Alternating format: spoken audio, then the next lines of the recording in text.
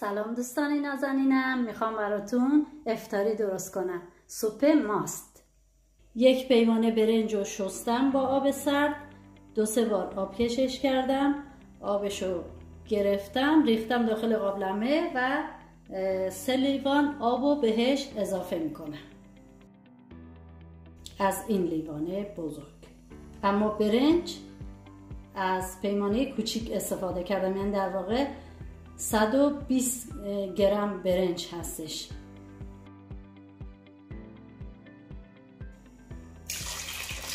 کم درست می‌کنم اگر که شما خواستید بیشتر درست کنید خب دو برابرش کنید. بعد از اینکه سه لیوان آب سرد رو بهش اضافه کردم حرارت گازو زیادش می‌کنم تا به جوش بیاد.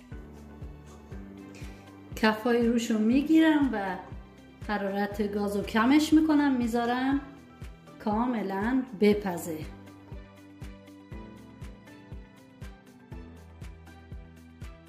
در فاصله که برنج میپزه من یکی دو قاشق آرد و تفتش میدم.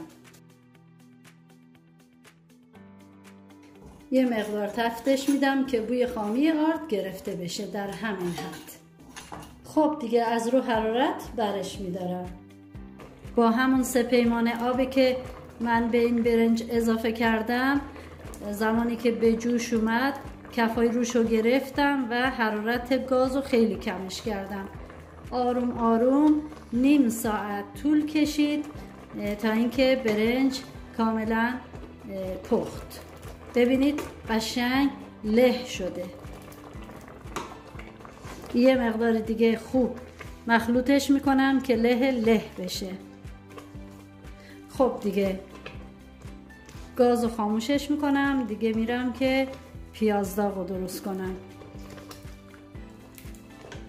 خب یه مقدار کم روغن ریختم و یه مقدار کره رو بهش اضافه می‌کنم و می‌ذارم خوب داغ بشه. دو عدد پیاز دارم. پیازها رو خلالی خوردش کردم و الان با این روغن سرخش می‌کنم.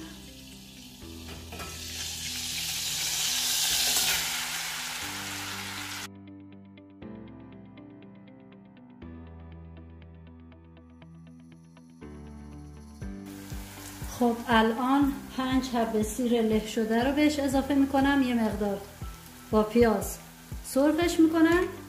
دیگه از رو حرارت برش میدارم.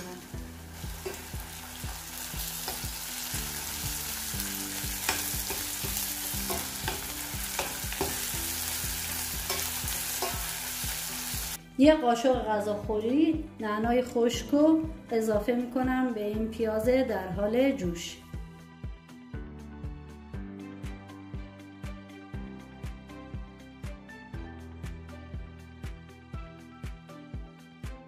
یه مقدار فلفل سیاه اضافه می‌کنم. یه قاشق چای خوری.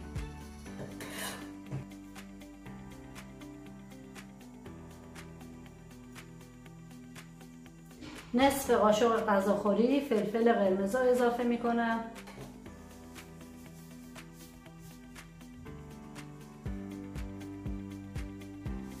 به همون اندازه نمک رو اضافه می‌کنم. و پودر تخم گشنیزو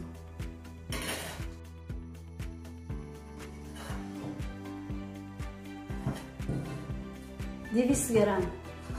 ماست رو اضافه می‌کنم.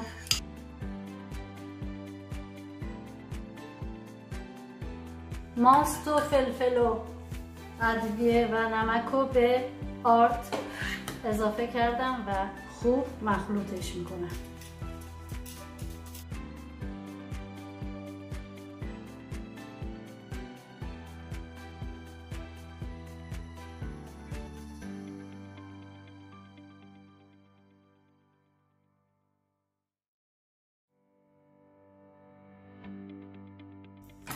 سه پیمانه آب جوش رو بهش اضافه کردم. و اینو اضافه می‌کنم به برنج که پختم. از بعد.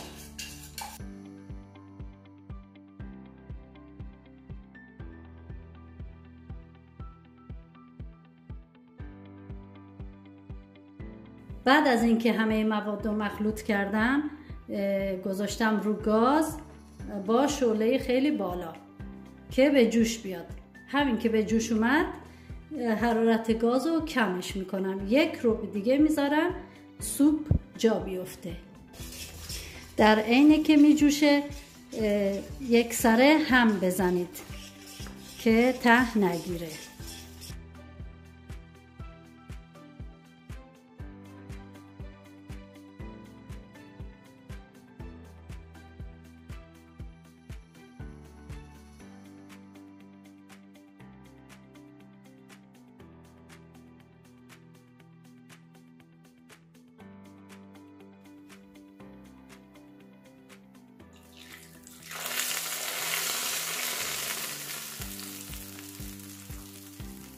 دوستان نازنینم سوپ داغ و خوشمزه آماده است. بفرمایید نوش جان. like و subscribe یادتون نره تا ویدیو بعدی. خدا نگهدار.